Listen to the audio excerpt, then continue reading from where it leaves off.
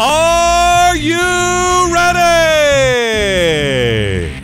Sea of Red, it's time for another episode of Fireside Chat.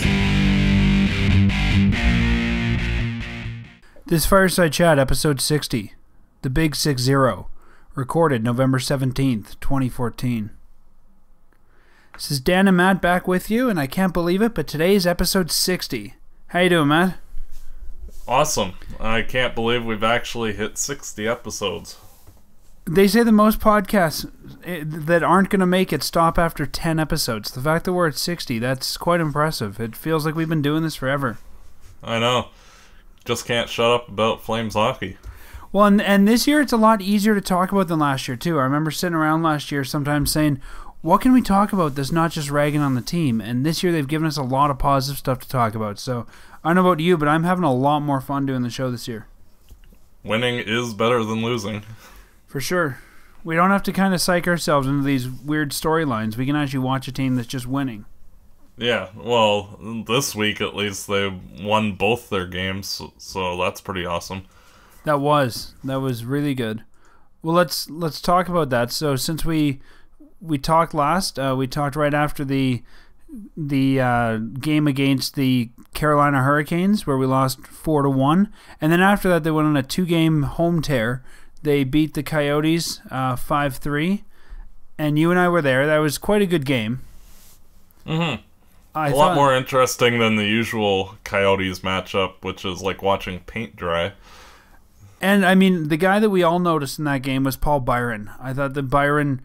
I've forgotten at times that he was a member of this Flames roster this year because he really hasn't been all that spectacular. And you'd almost think that he sat in the press box for a game because he came out and had a fantastic game. But what a good showing for him. Yeah, he's been a bit snake bit this year. He he's had many breakaway opportunities. He just can't seem to beat the goalie. Like I remember that one play in Florida where the Panthers goalie was knocked to the side of the net and he had the wide open net and he only he's managed to hit the end of his pad before Giordano put it in. So it's good to see that the bounces are finally starting to go his way. Yeah, and I mean, even like you were talking about the fact that he can't convert sometimes. I think he he didn't make it on what two empty net chances in that game. Yeah, something like that. So you know, we're all really hoping he was going to get the hat trick. Everybody sitting there at the dome, but he didn't. But even when he didn't have the puck, even when it wasn't him going on the net, he was a good offensive player all night. Like it seemed like every time I looked over, there was Byron doing the right things. Yeah, and he carried that on into the Ottawa game where he scored the opening goal for the Flames. And he also had a boarding penalty, which was kind of surprising. Yeah, I noticed that in that game, and that was a game that they won four to two.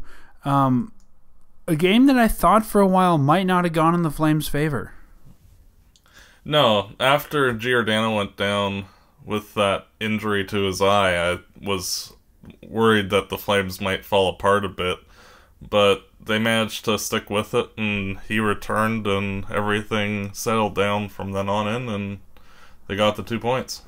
And even, I mean, when I was watching that game in the in the third, I mean, we were up by it was three to one at one point, and then they got the Bobby Ryan goal, and we started getting in some penalty trouble there, and I was really worried that Ottawa was going to start coming back. And credit to the Flames for being able to kill the penalties as well as they did but they ended up with the 4-2 win and, and it was it was a really it was a really good game. I generally don't like watching Ottawa Calgary games for some reason. I don't know why, but over the years I found they haven't always been great games. Ottawa doesn't play as well as they do here as they do against other teams sometimes, but that was a fun one. Yeah. And a major credit goes to the defensive play of Josh Jooris on that 5 on 3 penalty kill late in the third period uh, he won the draw on the face-off, and he got the puck out a couple of times during that kill. So I thought that was worthy of a shout out. Not only Jooris, but the other guy that we saw uh, coming around this week, especially in the Coyotes game, was Sven Baertschi, who he seemed like uh, Byron's partner in crime there. I think he got a point on both of Byron's goals, if I remember correctly. All three. All three. All three. Yeah, So- he so was they- the one that set him up. So there you go. So he's finally starting to come around, and I mean, you and I have said let's not count him out yet, and it seems like maybe he just needed some time to get going this season. But he's finally starting to contribute, which I'm glad to see. Yeah, and like when we watched him eh, play in the AHL, like he was making all the right plays. They would just screw up right at the last second, and that was even notable when he was up here in the first couple of games that he played. Now, finally, though, it seems like those passes where they would just miss the mark or hop on the guy are now actually hitting the player's stick instead. So it's good. And I mean, we know this guy's a talented player. We've talked about it a lot in the past. We won't harp on it again, but we know he's a talented player. He's not a bust by any means. And to me, it almost seems like he needed just to get comfortable with a set of line mates. Mm-hmm. And not be playing with a guy like Devin Setoguchi, who has struggled mightily this year in his own right. Yeah, and I think him and Byron are looking good together. I'll be curious to see who they put on that line with them going forward. Um, but it's if those two keep going the way they are, I think that they may have something going on there that I hope will last for a while. Yeah, and realistically, guys like Colborne and Mason Raymond aren't expected back in the lineup for probably another week or so. So it gives the kids another few three games or so to make their final audition, so to speak, to stay in Calgary. For sure. You know, it's weird talking about that is um, I've been looking at a lot of teams around the league and talking to a lot of fans of other teams, and I don't think anyone else has been more excited to have so many, that, or I shouldn't say to have, but I don't think many teams have been as excited with the progress their team has made when top players have been out. I mean, if you look at our roster and who's out, Raymond, Stajan, Colborne, Backlund, core piece of this team, but as fans, I think we're really excited to see what we're getting with those guys out. Well, it also helps giving the opportunity for guys like Granlund and Jooris and Baertschi to come in and show that they too are NHL caliber players and they deserve a spot here. And especially the Jooris and Granlund, they have contributed at such a high level that I don't see how there's any way you can send them back down. Yeah, for sure. And I'm I'm hoping it'll be next week, if not the week after. I hope that it's going to be exciting when some of these players come back and we start to see the Flames making some roster moves. And I'm hoping we're going to get to talk about that very soon. Mm-hmm. That'll definitely be something to keep an eye on. But I mean, it wasn't like it has been in past years where it's, oh crap, we got to call a guy up from the farm. It was sweet. We get to see some of these young players come up and show us what they've got. And that's been a really fun thing to watch this year. Definitely. It's a good departure from previous seasons for sure. Speaking of some of that talent that we brought up from the farm, um, we, Matt found a really good article today on hockeysfuture.com. We'll link to the full article on our show notes at firesidechat.ca. But the article deals with all the teams in the NHL and who has some of the best developmental systems and prospect pools in the league. And surprisingly, um, Hockey's Future rates Calgary as number two. I don't think anyone expected that. They were sixth last year, and now they're number two this year in this ranking. And I think after what we've seen, there's no doubt that we have one of the, the deeper prospect pools in the league, which I think for Flames fans, after so many years of hearing the cupboards bare, it's such a nice change. Yeah, and with the emergence of guys like Jooris, Granlund, Ferland, Baertschi on the NHL roster, we're seeing good performances in the AHL from guys like Ben Hanowski, Corbin Knight, Bill Arnold, and a whole bunch of other guys, Emile Poirier.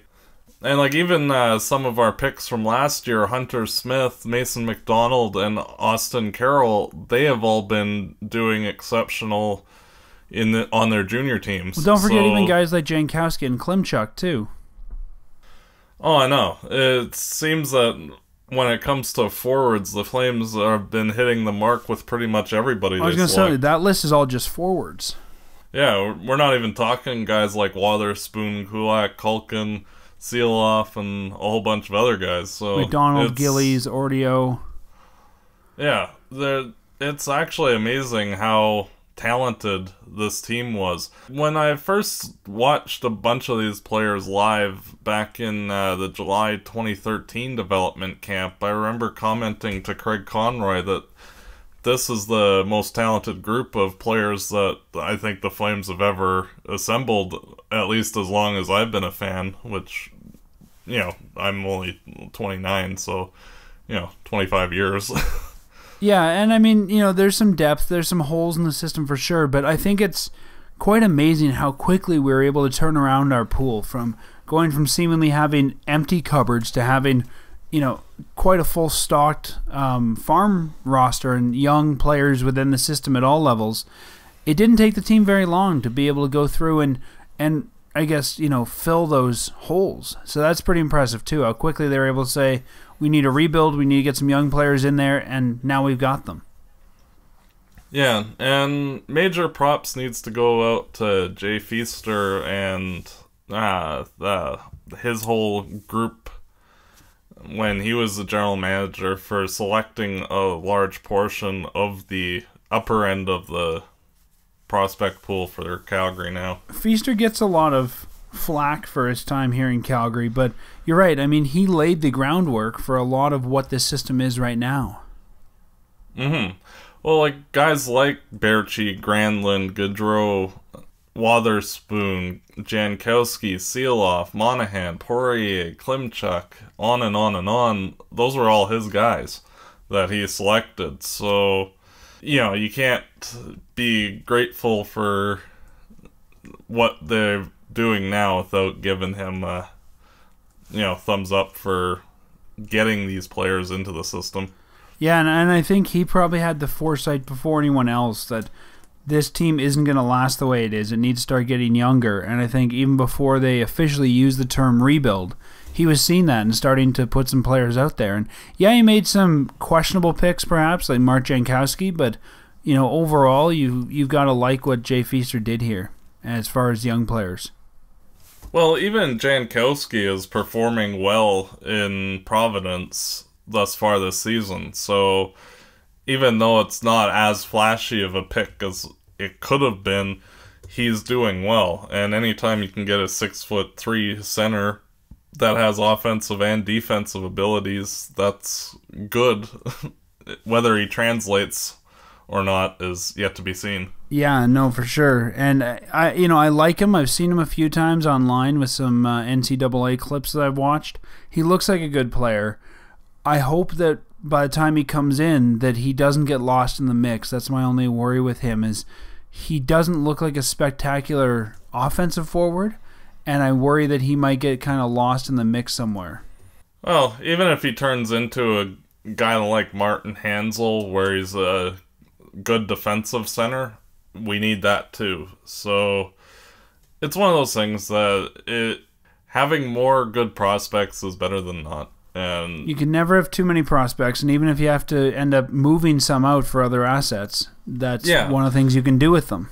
Well, plus development itself isn't isn't a linear process, and just because Jankowski might not be having flashy stats at the NCAA AA level, it, look at Josh Jooris. He didn't have particularly great stats either, and yet he's come in and he has, I think, seven or eight points already this season.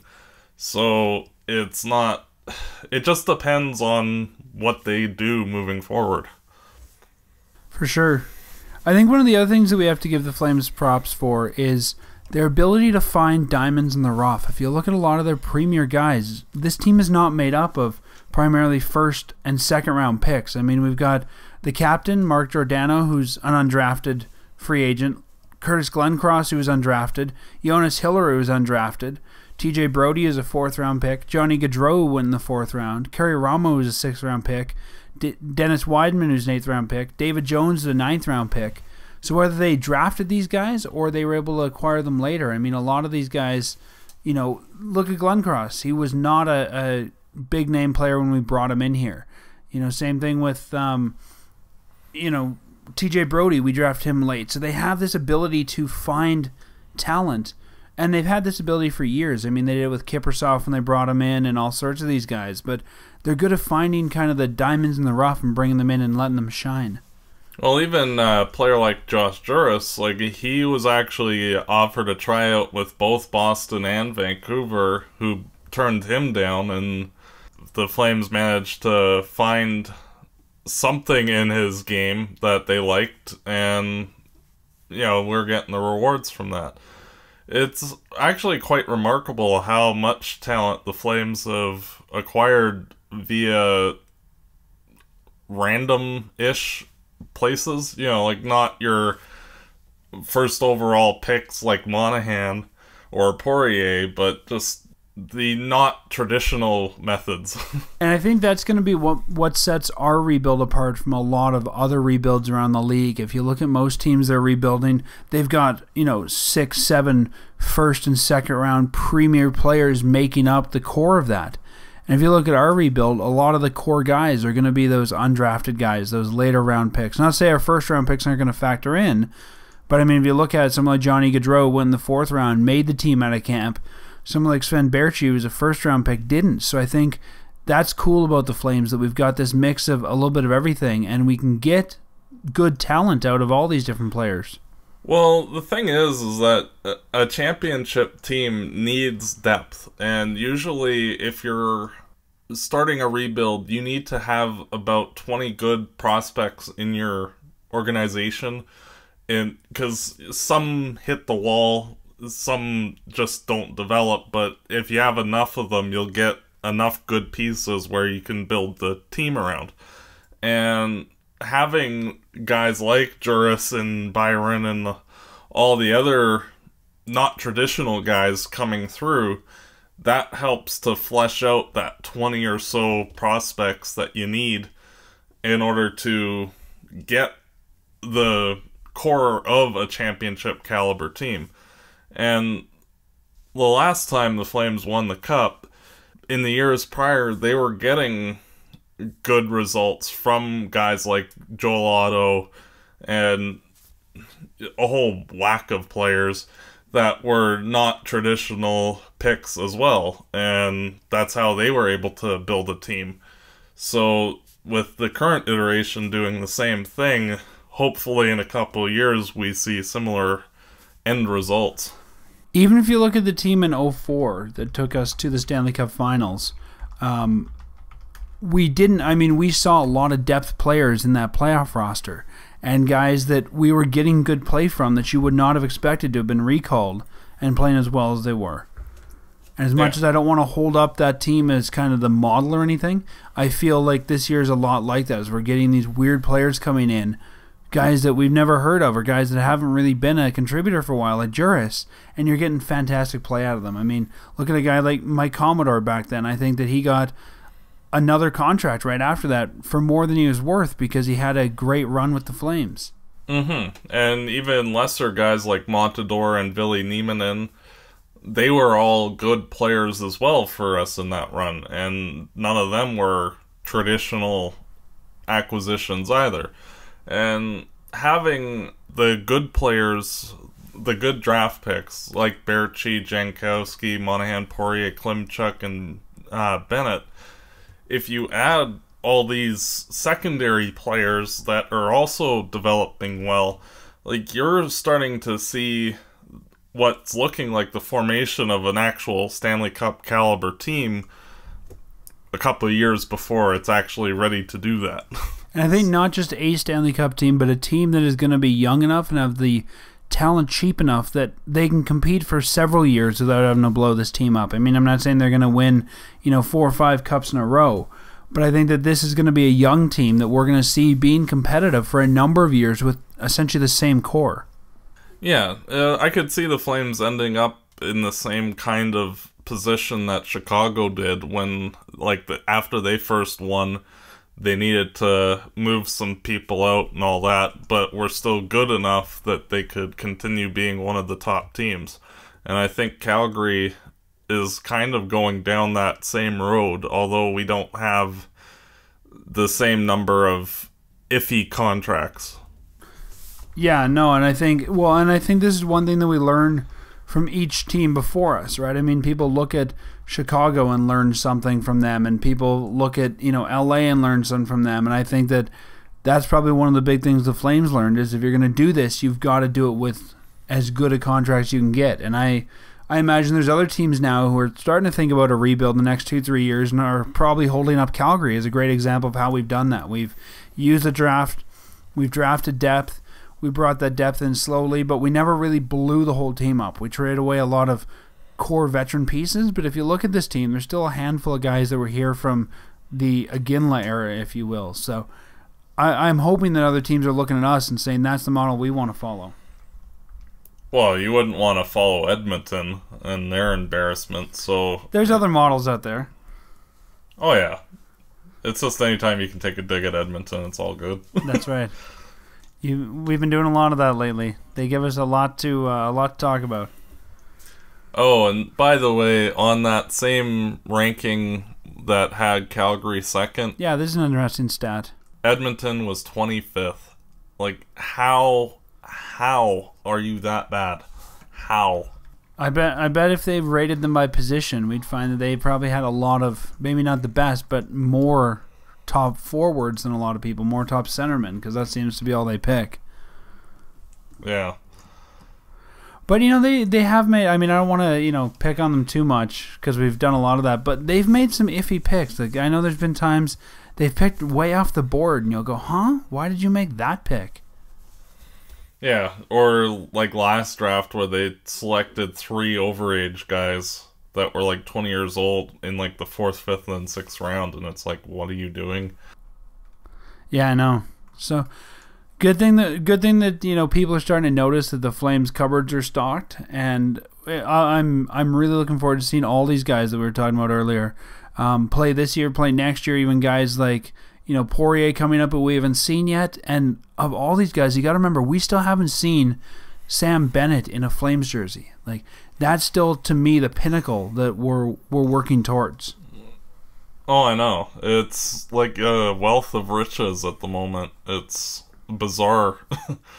you know, after 20 years plus of, like, ever since we selected Fleury, the Flames have never really drafted anybody of consequence. Like, unless you call Cory Stillman and Dion Phaneuf real game breakers. Uh, you know, like, we haven't had the anywhere near the system depth that we do now. You know, that's a good point. Maybe the hockey gods are finally shining down on Calgary and saying, you know what, you've drafted horribly for so many years. We're going to throw you a break and give you some really good depth picks.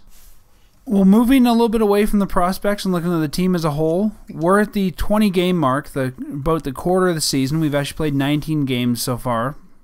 Um, let's take a minute and talk about what we think of the team at the 20 game point. 63 games left. What do you think so far, Matt?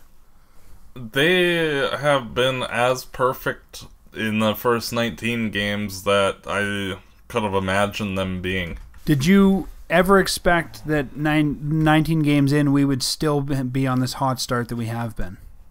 Honestly, I was expecting around now, like the last, like when we lost to Carolina, I thought like, okay, finally the shoe is gonna drop, and uh, the we're gonna start seeing other teams match the Flames, both in effort and in skill. And then we play Phoenix and Ottawa, and we handled each of them quite effectively. So whether or not like the next couple of weeks will be a good indication of how this team will fare. They actually play some high end talent. They play the Ducks a couple times in the next week and a half. The Blackhawks, I think they play the Sharks as well. The So, Devils. th- yeah, so it I'm still hesitant to be going, "Oh, we're going to go for the playoffs just yet," just because it's a little bizarre. We're a year and a half into a rebuild. We should not be doing this good. It's great for the Sea of Red, though. What a great Oh season yeah, we've had it, so far. it's yeah, it has been absolutely fantastic as a Flames fan, and very encouraging that even though these results might not be sustainable, at least they've got enough talent in the cupboard that they can make something like this happen. Yeah, when I reflect on the team so far this year, I mean, the Flames have historically been slow starters. They've generally started slow, it's generally taken them time to warm up and get going anywhere. And so when they came up with this with the fast start this year, I was really excited. I was excited that we were winning right off the bat. I mean, we had a, a bad uh, first game, but things started going up from there. And I think the big thing, if I look back at Flames teams over the past 10 years that have derailed some of the teams that maybe had a shot at the playoffs, was always having a rash of injuries late in the season. So I feel like we've had the hot start. We've got all the injuries out at the beginning of the year. We've taken all the adversity that usually we get, and we've, you know, totally been able to fight through it. We're seeing how great the system is. I agree with you. I don't think it's time for playoff talk, but to me, this does not look like it's 20 games of hot play. This looks like a team that is going to do something special this year. Maybe not special to the other 30 markets, but for the Sea of Red, I think this is going to be a season that we're going to look back at episode 90 and still be talking about the 2014 2015 season because I think it's going to be uh, a, mi- a milestone in turning around this rebuild. Mm-hmm.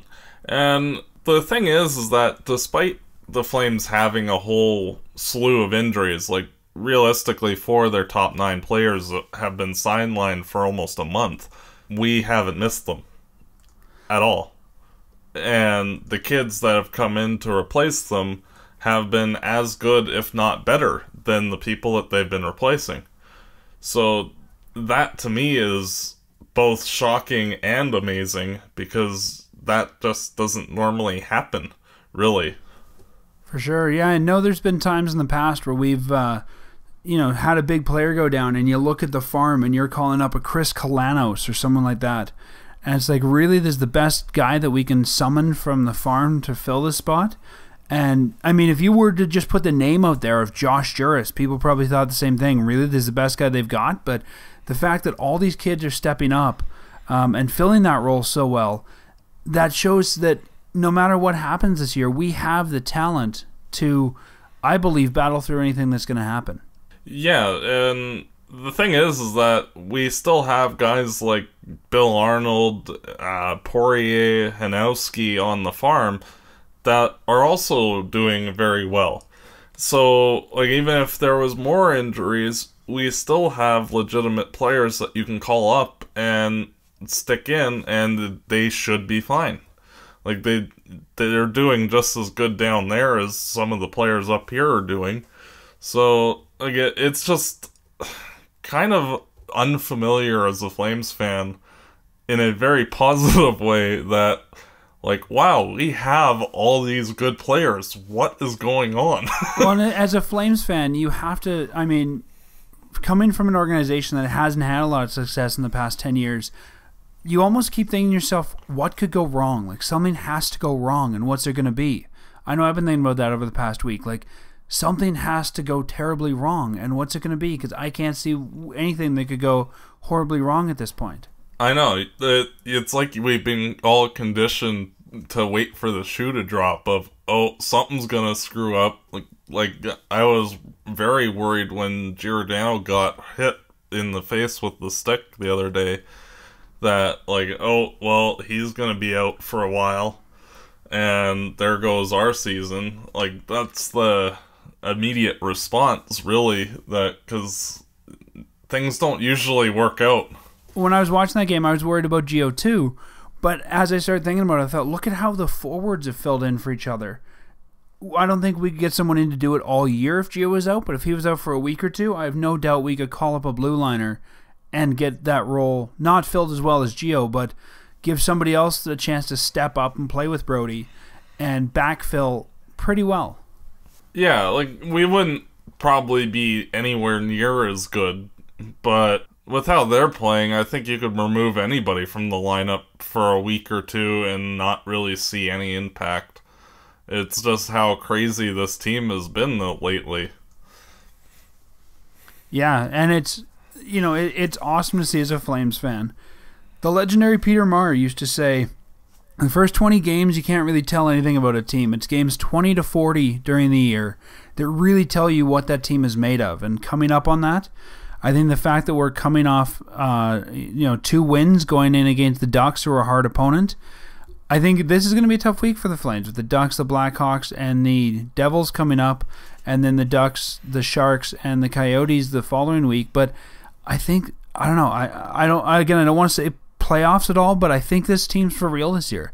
I think they're really going to challenge a lot of teams, and I think we're going to see what every guy on this roster is made of because I think there's going to be a lot of guys fighting for one of the few flaming C's that are going to be out there. You can only carry 23, so only 23 guys can be wearing that jersey at any time. Well, the scary thing to me is it's not like Johnny Gaudreau, for example, has been carrying the play. No, like, he, he hasn't. hasn't. He hasn't contributed anything offensively for a few games now, and yet it's full steam ahead. And we're getting other guys to step up. Granlund scored, Jooris scored, Byron's had three in the last couple of games. Baertschi's added assists. Like it, it's just And, and that's the great thing too as is a- everyone stepping in and making you know their role evident, and even guys that we're not expecting goals from are coming out and producing offensively, and that's what you need. You need that complete team effort to get anywhere. Well, even Lance Bouma, I think he scored his fourth or fifth goal against Ottawa as well, and just uh, like you're not expecting offensive outbursts from a guy like that. He's more supposed to be a defensive forward, and yet he's contributing too. It's just unbelievable, really. I, I have a feeling that if the Flames keep playing like this, there is going to be a huge market come deadline day for anyone wearing a flaming C, pretty much. Oh, well, yeah, if we're outside the playoffs, then, yeah, I think pretty much anybody. Because we seem to have that identity of being a hardworking team, and if you're going to acquire one of our guys, you're getting a hardworking player, so definitely I agree with you there. Now, Matt, there's been a lot of talk this year about the, you know, Eichel, McDavid, Hanifin draft and wanting the Flames to, I wouldn't say tank, but perhaps be at the bottom end of the draft so that we can get one of those players. What do you think is more important right now? The not saying they're going to tank, but the continued success of the Calgary Flames becoming kind of this emerging playoff team or getting one of those talents this year? What would you rather see from this team? honestly, it's good that we're winning, and uh, like I'm hoping that we continue to win. Uh, I hate the Edmonton Oilers and the Buffalo Sabres and their loser attitudes, and get that as far away from me as possible. Like when we were looking at the team on paper be- before the season, and you compare them to the other teams in the league, they didn't really stack up. So, at talking about the Flames being in that McDavid Eichel race, that was legitimate because who would have figured that we'd be getting the level of Well, play that just we us. have Everyone from everybody? Yeah, except for Aaron Ward. You know, and we thought he was crazy at the beginning of the year, but Aaron Ward's starting to look like a big genius right now. Yeah. And if the Flames end up picking in the 8 to 10 range or even lower, oh well. There's still going to be good players. This draft is actually abnormally deep where you can get guys that would have been in the 8 to 10 range last year at the like around the 20th overall selection. So it's a really talented draft. So even if we aren't picking McDavid, Eichel, Hanifin, or Kylington, we'll still get somebody good. So it's not as important in my mind. Yeah, to me, the way that this team's been set up, I mean, they've been setting up with a winning attitude. I mean, Bob Hartley's changed things. The uh, Brian Burke era here has changed things. They've been setting up a winning attitude. And you can't really say, we're trying to bring in these young kids, we're trying to give them a shot. But, you know, it'd really be nice if we didn't do all that well. I think that with the attitude we're trying to set up here and the way we're trying to build this team, if you got success, you've got to ride it. And as much as it pains me to say it, if if we can make it into a postseason or close to a postseason, I don't. I think at some point you have to say we we need to pass on that generational talent to keep the curve going up. Well, the thing is, is that uh, you, it's not like basketball where one guy can win you a championship. Uh, You know, um, yes, the, NHL will have a, a LeBron James esque player in Connor McDavid enter the league next year, but there's still 19 other players on the team, and the Flames seem to have a lot of very good pieces that are all on pace to become a solid NHL team. While it would be better to get a McDavid, honestly, I would rather have the Flames have that winning mentality and attitude and the hard work and all that than trying to learn how to do that on the fly after getting a guy like McDavid. Yeah, no, I think you're. I think you're right. If you can backfill that spot almost with six or seven guys, I mean, what if a team gets McDavid and he ends up like like Bennett this year and he's out all season? Now you got nothing for at least a year. Well, even like you look at the Edmonton Oilers, and I'm, I'm going to bring them up because they've sucked for a long time, and they got their good number one overall selections three years in a row, and guess what? They still suck, and they're going to continue to suck, and and it's a never-ending cycle because mm, they don't understand how to win. And getting that winning culture, in my mind, is a lot more important than the necessarily than the players that you might select. Yes, it would be good. You know, it would be good to get uh, Mario Lemieux in his prime, but you know, Mario Lemieux only won two Stanley Cups. Well, I was about to say the same So- thing. Wayne Gretzky, Mario Lemieux, Eric Lindros. None of these guys were winning. I guess you know Gretzky's a little bit of a different deal, but yeah, none of them were winning consistently year after year. Yeah, and like if you look at the LA Kings, they've won two of the the more recent Stanley Cups, and they other than Drew Doughty, they haven't had any of their players being selected in the top five. So yeah, we have Bennett, and, and like he could fill that role of being the star player for us. But you look at LA, like Kopitar was the tenth overall selection, Brown was in the teens they acquired Carter and Richards through trade. Uh, Quick was a third round pick. It, like that's the core of their team, though. And like even Voinov was a seventh round pick. So, you know, getting the pieces in there is the important part. How you get them, in my mind, is not as important. Yeah. And I mean, if I look at LA, you're right. A lot of those pieces are not. And I look at LA as a complete team. Like, I think they're one of the teams out there that almost mimics Calgary in that respect. And they're not just one or two core guys. They seem like they have a complete team in place from top to bottom. And yeah, not all their guys are top. I mean, even look at a guy like Kopitar, 11th overall.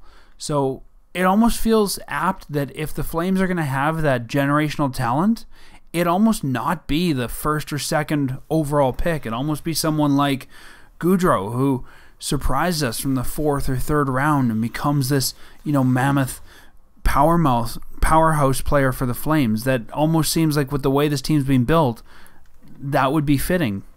Yeah, and like if you look at LA this year, Tanner Pearson and uh, Tyler Toffoli. Pearson was selected 30th overall, and Toffoli was a second round pick. So, yet they're the offensive catalyst for LA right now. So, like to me, it doesn't really matter where you're getting players. It's more finding the right guys and selecting them.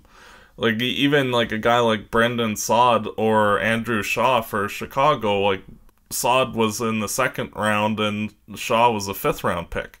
And yet they've been really solid second, third line guys for Chicago. once they moved out the Byfugliens and Ladds and Bolins and all those guys.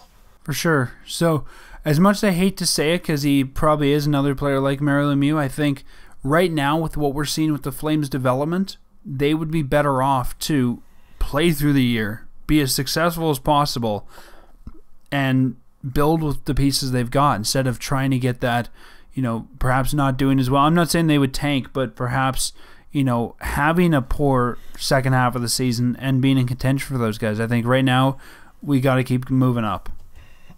Yeah, and that's not to say that, say, like Giordano, Brodie, and all the rest of the guys that have been on a hot streak, that they don't cool off and we don't end up in the top eight in the draft. It could very well happen.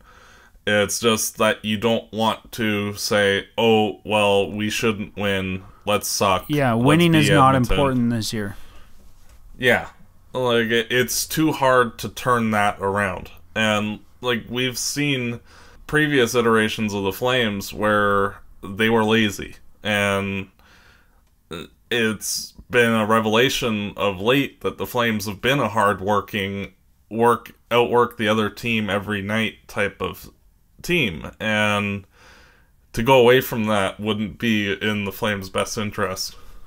Yeah, I feel like we've bottled some lightning here and we have to ride it as long as we can. And you know, keep the work ethic going. I think the Flames are finally establishing the identity of who the Calgary Flames are going to be going forward. And that's all we can do is keep keep running with that. Yeah, well, once we get back into the playoffs legitimately, uh, probably not this year, but possibly next year or moving forward, uh, we're not going to be a fun team to match up against in the postseason because we'll hit you and we'll score on you and we'll beat you. So, you know, because usually the playoff teams that win are the hardworking, in your face, non-stop motor teams. It's you don't normally see a team that's they might have all the talent in the world, but they're kind of lazy. Sort of like what Calgary was about five or six, seven years ago, where they were very talented, but not the most hardworking team.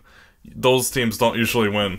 I think the other thing that work in our advantage, especially if we keep the depth as as deep as it is right now, if we do make the playoffs, is you won't be able to get rid of us. I mean, you take out one guy, we'll call up another. You take out someone else, we'll call up another. Like we've got enough players. I think we can simply be almost the Energizer Bunny team. We'll just keep going and going and going and calling up prospects until you know we can probably outmatch other teams before they'll be able to outmatch our depth. Yeah, and the key uh, moving forward is for the Flames to keep getting good players that will be NHL talents. Like, say, like Hunter Smith, the last draft. He's not necessarily going to be a top six forward, but he should be an NHL player. And that, in my mind, is necessary. So, like, once we start bumping up against the cap down the road, that we'll have legitimate replacements and like it, we can just keep rolling over and over and over on teams with fresh faces like how Chicago has with Saad and Shaw and all the rest of their guys. For sure. Going back to the 20 game uh, recap, are you surprised that at this point in the season, Devin Setoguchi has played half? 10, well, I guess just over half now because we're at the 19 game mark, but played pretty much half of the game so far for the Flames? Well, because of the Flames being injured as much as they have been, I'm not that surprised that he's drawn in. I just don't see him staying once you start getting Mason Raymond and Backlund and Colborne and the rest of the guys back. Uh, he is, in my mind, he's the first guy on the way out. If you were to look in August at where we would have been right now, I don't think either of us would have expected that Setoguchi would have been in half the games.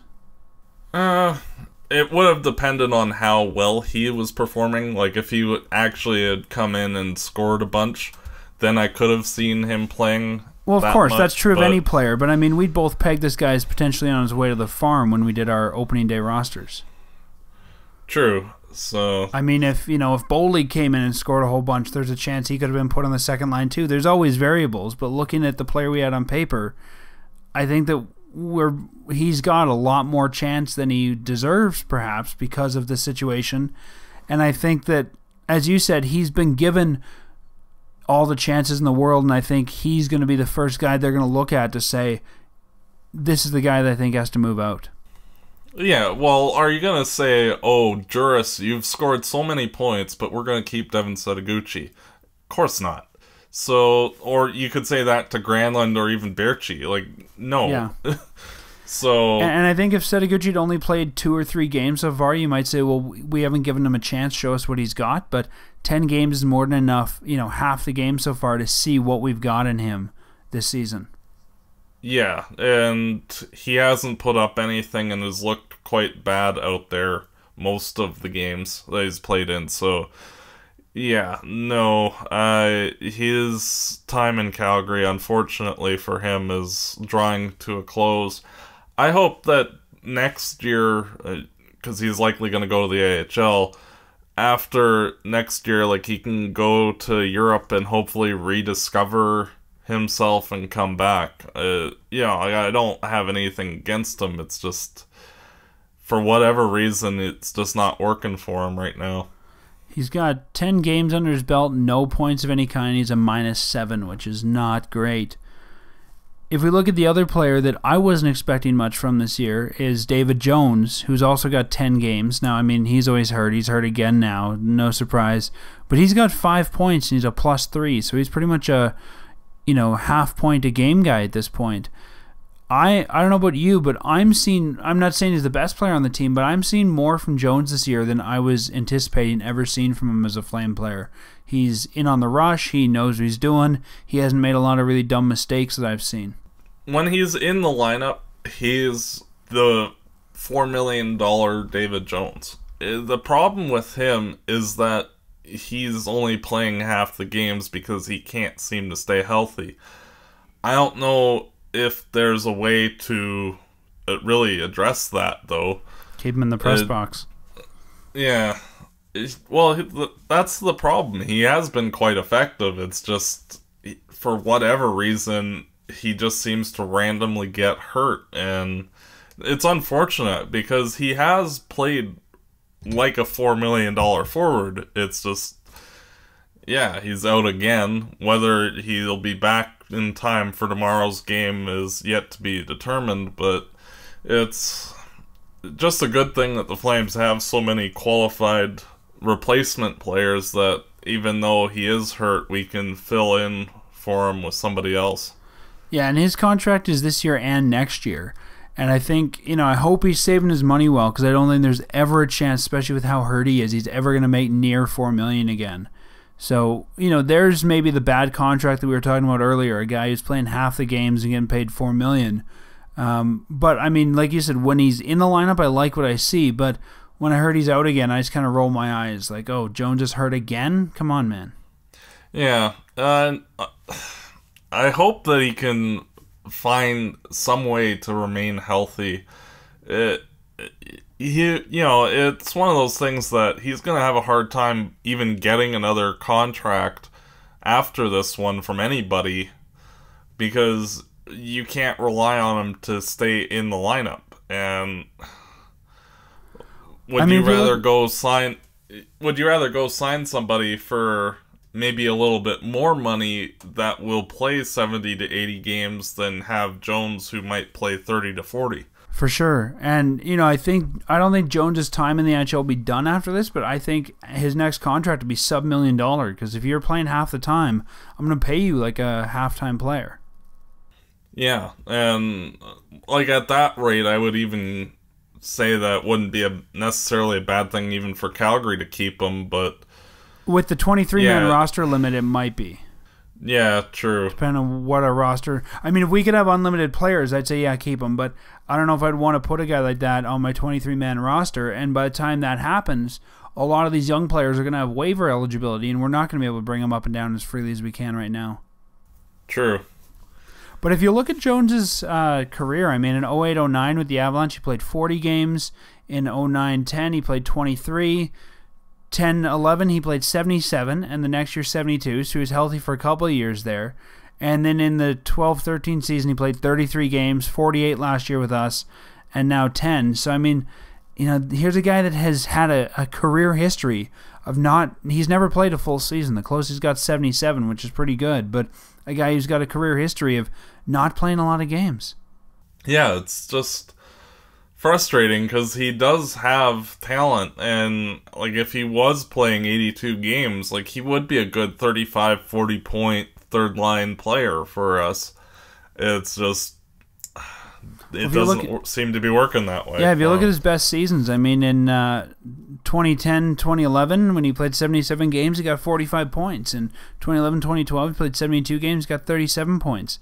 That's the kind of production i expect to see from a guy making 4 million yeah, it's just frustrating because like even at the five points in ten games, he's on a forty game or forty point pace over an eighty game schedule. It's just you know that he's not going to be able to do that, and it's frustrating. For some of the kids, though, it might be a blessing in disguise because if we've got this guy who's hard to stay healthy, it means more spots are going to be open. True. Well, let's uh, let's look at the week ahead. Um, we've got Peter Maher night coming up tomorrow night, Tuesday night. They're honoring the Hall of Famer Peter Maher. Any ideas what they're going to do for Peter? Your guess is as good as mine. I'm hoping that they raise him to the Forever Aflame thing and give him a banner and the whole nine yards. That to me it seems appropriate for all that Peter's done for this organization. For sure. We'll see you tomorrow. I th- I don't know if anyone said I don't want to toot my own horn. I don't know if anyone suggested before that, but I know we threw that suggestion out originally here on Fireside Chat last season when we interviewed Beasley about Peter Maher, and I threw that suggestion out to Beasley, and he thought it was an apt, uh, you know, thing for Peter too. I know right now we have the TV broadcast booth, which is the Ed Whalen broadcast booth in the Saddledome. I think another fitting thing to do would be to rename the radio broadcast booth the Peter Maher broadcast booth having Whalen and Maher next to each other seems fitting as well. So I'd love to see Peter's face up next to Nieuwendyk and MacInnis in the Forever Flame program, and I'd love to see his name every time I walk in there and look up at the radio broadcast team. I can't disagree with you at all. I hope that the Flames do the classy thing and give him his dues that he's well deserved. While we're on the topic of Peter Maher, have you listened to many games on the radio this year? Uh, none actually. I'm really surprised. I was I was hesitant to listen to any games on the radio because I didn't know what to expect. And I have to say that I'm impressed. Derek Wills, who's taken over, um, definitely not Peter Maher, but he's a seasoned announcer. He's not a young, you know, new guy trying to come up with his identity. And I, I think he's doing a good job. I mean, it's hard to get Peter out of your head and hard to not want a yeah baby after all these wins, but it's I, I like what we're hearing there, and I think that he's a good fit for the Calgary Flames. Well, I'm glad to hear that he's doing well. I just I've been watching the games, or I'm at the Saddledome, so I haven't had the opportunity yet. If anyone's I like did, Matt, I did hear listened, him Sorry, go ahead. I did. I did listen to him uh, during the preseason, though. Uh, when uh, during the prospects tournament, I did listen to him then, and I thought he was doing well. So if anyone else is like Matt and hasn't heard him, I'd encourage you to listen to one of the games this month, um, and just listen to Derek Wills call it along with Pete Loubardias because I feel like those two are starting to get their groove together. They're starting to get their timing down now, and I, I think that you know we have to move past Peter Maher and listen to what we're going to have for the next. I mean, he's a young guy; he'll probably be here for the next ten years if he wants to be. So I feel like we have to listen to him and see what we've got now as the voice of the Calgary Flames. Yeah, I'm also encouraged by the TV broadcasts as well. Uh, Rick Ball and Kelly Hrudey have done an absolutely superb job doing play-by-play in color for all the Sportsnet broadcasts. You know, I knew Kelly Hrudey from, you know, all the stuff he was doing before with Hockey Night in Canada and whatnot. I wasn't familiar with Rick Ball, but yeah, those guys have gelled really well. And I think they're giving Kelly more of the color role. Um, I've really liked him in that in that role. He's a great analyst. He's good at, you know, finding some of those quirky facts and he he gels fantastically with Rick Ball. So we've got two very very good broadcast teams for the Flames which you know as we start to watch this team more as they're winning and they start getting into some postseason action in a couple years, these are the voices that we're going to be hearing. Yeah, and I'm very encouraged by uh, how good that the broadcasts have been with Sportsnet.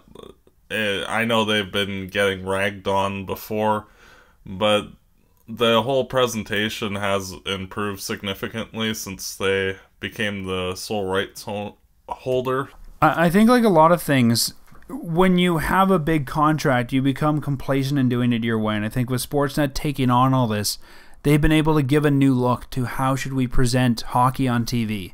And you're seeing some interesting ideas, some stuff I like, some stuff I don't like. But yeah, I think overall it's definitely been a different look at hockey. Mm-hmm. Have you been watching Hockey Night in Canada? What do you think of George Stroumboulopoulos?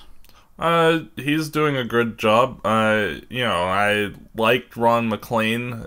It it'll take some adjustment to see him in a reduced role, but it, Strombo does know his stuff, so I can't complain too much.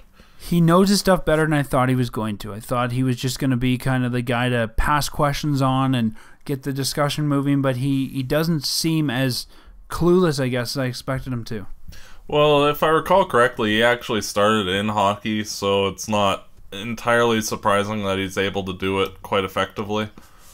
Yeah, I mean, he can call the game, but he also knows all the current facts and stuff. Now, how much of that is him and how much is that someone on the teleprompter, we don't know. But he works well with those guys, too. I think being kind of the non hockey guy there, he brings a different element to the hockey panel. Mm hmm. And it's been good to start. Hopefully, CBC continues to have a good telecast over the next few years as well. So, Matt, looking ahead this week, we have the Ducks tomorrow, we have the Blackhawks on Thursday, and we have the Devils on Saturday. Six points on the table. What do you think the Flames are going to skate away with? It's a tough week. I think this might be the toughest week we've had so far. Yeah, if they'll likely have the best opportunity to beat the Devils, but that's because they're an Eastern Conference team. Uh, if, honestly, if they get more than two points this week, that's a successful week in my opinion. If they can manage to beat either Anaheim or Chicago, that that would be fantastic. I agree with you. I think sadly we're going to walk away with a loss on Peter Maher night um, against the Ducks. We always have a problem playing the Ducks. I think the Blackhawks are going to overpower us. But to me, I think of those two games, even if we don't get the W, I want to see how well this team's able to maintain their composure when they get down to good teams. I want to see if they fall apart and flop or if they're able to keep playing their way. Well, one of the things to consider is that for most of this season thus far, we've been playing the Eastern Conference a lot and the weaker sisters in the Western Conference. So now, between now and Christmas, it's pretty much one hard team after another all the way. So this will be what Calgary's all about. Will they go on a huge eight game losing streak or something like that? It's feasible. Uh, the competition level is going to be like nothing that they've faced thus far it'll be interesting to see. It, they are definitely in tough. It's not going to be an easy road for the next little bit. So I'm looking forward to it. Can they actually skate with the big boys? If they can, then this team has a good shot at being a playoff team. If not, then well, we'll be closer to getting McDavid or Eichel. yeah. I think too the Flames have banked enough points so far that we can afford to stumble a little bit against the big teams and then readjust. I mean, we can't, you know, tank in all of them, but I think even if we were to get two points this week and maybe two points next week, we've got points in the bank that we can kind of rely on there while we regroup and figure out a different strategy to take on the big boys. But yeah, no, I agree with you. This is really going to be a telling week, and I think if you're just looking at the W's and the L's, you're not going to totally tell the whole story. It's going to be a matter of how well does this team play Calgary Flames hockey against these big players in the NHL.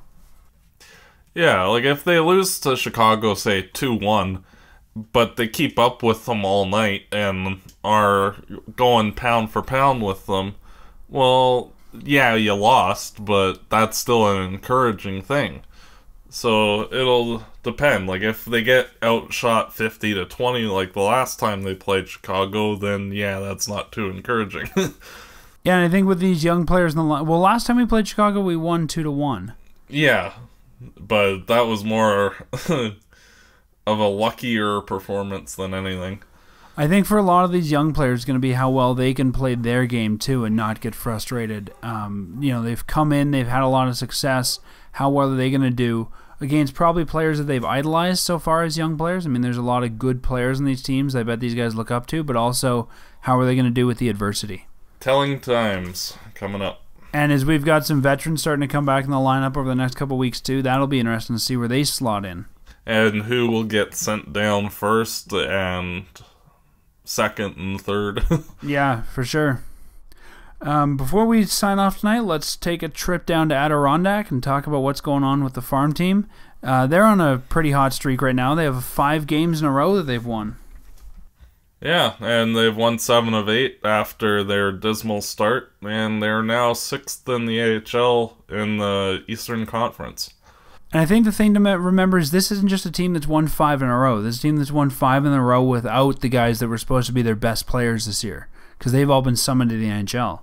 Yeah, and Ben Hanowski had a hat trick against uh, Lake Erie on Friday night, and Bill Arnold has collected goals in each of the games this week. Two goals against uh, Rochester and one each against Lake Erie and Poirier has an assist in each game, and he got the shootout winner in the most recent performance. Just like in Calgary, we have young players stepping up into roles that you know are new to them and increased roles. We're seeing that in Adirondack too. I watched the two like uh, the Monsters games, the Lake Erie games, and yeah, we're starting to see guys. Um, you know, t- Elson wasn't looking too bad in some of those games. Um, Poirier looked really good. Um, you know, as you said, Hanowski, fantastic. So I think we're starting to see guys playing roles they wouldn't have if all the players that are in Calgary right now were wearing Adirondack jerseys. So that's good too that we're going to test and see what we really have down there as far as depth players. Well, that's the key to a rebuild is having opportunities arise and then having players actually take advantage of it. And both Hanowski and Bill Arnold have, since the recalls of all the other guys, they have really stepped up their games and have taken on leadership roles down there. Whether that continues once players start returning or not is yet to be seen, but it's still encouraging that those players are contributing. Because like it, realistically if you take any team's top five players you expect them to go on a losing streak not win seven of eight. Exactly. Not look better since they've lost their top players. Mm-hmm. and we're seeing that in both calgary and adirondack. Yeah fantastic depth it's actually quite confusing as a flames fan you know i'd seen some some uh, ahl games for the flames before and it was always you could tell the level was there but I never felt invested in the team. It always felt like this distant piece of the Flames, I guess. And I'm like, well, what is this? This, you know, I don't know these guys. And this year, I'm enjoying watching Adirondack because they do. They feel like underdogs, and you also feel like you already know a lot of these players or need to root for these players because they just feel like an extension of the Calgary Flames. Yeah, and you know that like guys like Poirier are going to be up in Calgary in the not too distant future. So, yeah, it's definitely more interesting to watch than how the normal AHL games would be.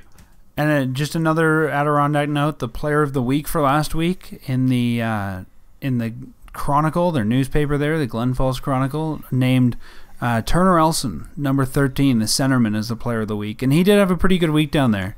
Oh yeah, it's all good. Like uh, they have been getting pretty good performances from a whole bunch of players. Like even David Wolf was looking quite good out there. I think he had a goal this week as well. One of the players that I've noticed who's had the biggest turnaround is uh, Joni Ortio. It seems like he's finally settled down and is starting to look like the Joni Ortio that we need him to be, not the kind of sporadic player who didn't look like he did last year at the be. I don't know what was wrong with Ortio, but he just didn't look like himself at the beginning of the year. No, he looked like he was at the 2013 development camp where, like, I ripped him on uh, the articles back then. Uh, he just didn't seem to give a crap, really. Well, that's why he started in the ECHL last year. Exactly. And he was looking more like that guy instead of what we saw later on in the season. And that'll be key for him moving forward. Like if he wants to become an NHL goalie is he has to not be terrible for the first month of the season before figuring out how to actually be a good goalie. Yeah, you can't have a goalie when you're coming into a year where you need to compete and say, "Oh, well, he'll be fine come October and November." Yeah. More like the middle of November. so, you know, it you can get away with a guy like Iginla not warming up for till the middle of November, but you can't have your goaltender. for sure. That's that's the most important position. You can't have somebody struggling to that extent for as long as he has. It's good that he's turning it around. It's just a, you need to figure out some way of getting him to be better right off the hop.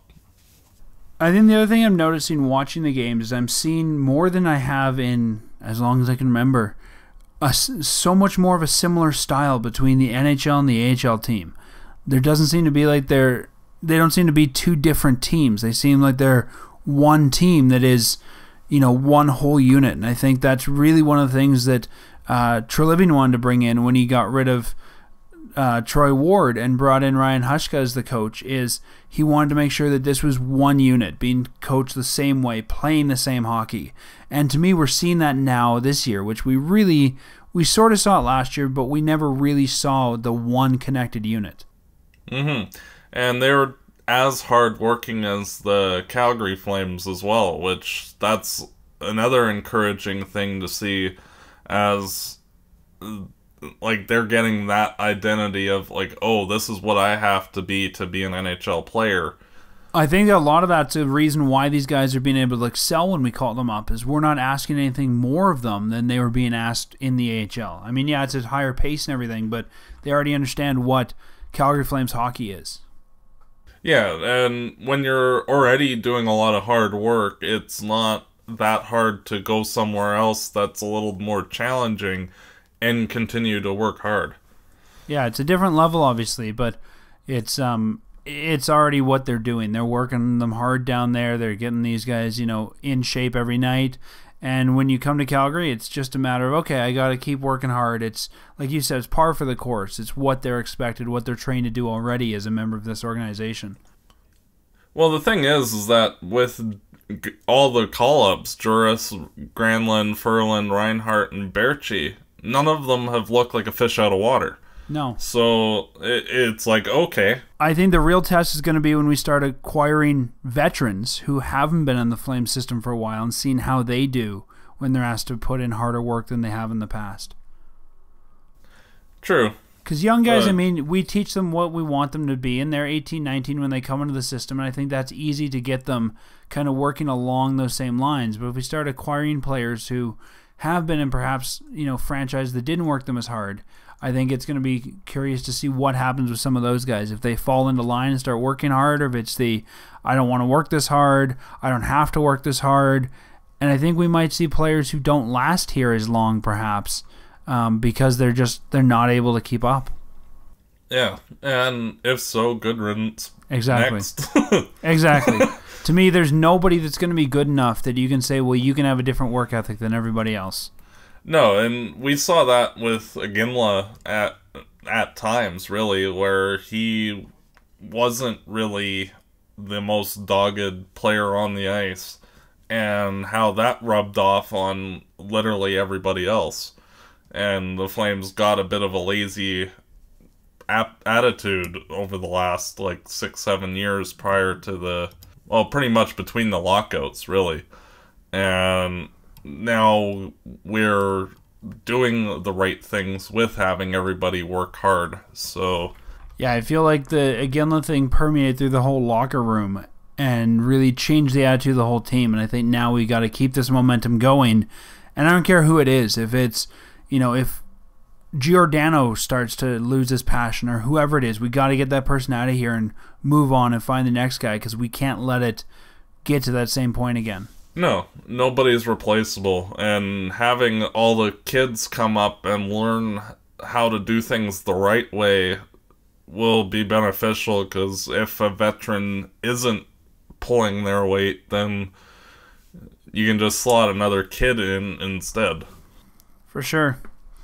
Well, Matt, let's uh, let's wrap this one up. Let's hope the Flames can skate away with more than two points this week. I think, like you, they're going to be hard pressed to get more than two, but let's hope for the best. And we will talk to you again next week. Have fun, everybody. Thanks for listening. Here's to another 60.